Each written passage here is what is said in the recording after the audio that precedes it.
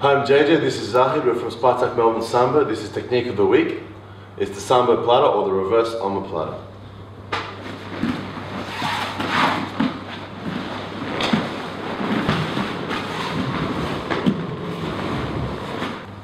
This technique starts off with my opponent in the gutter. I'm going to isolate this shoulder, right? One way I can do that is simply by just yanking it out and sliding under. The other way is by grabbing behind his collar and the belt, pulling him, and sliding on through.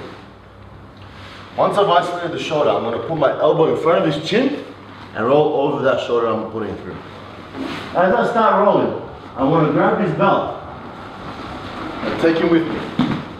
When I arrive here, I want to lock down his body by putting weight down, posting on my left leg, and scooping that underneath, which breaks your short.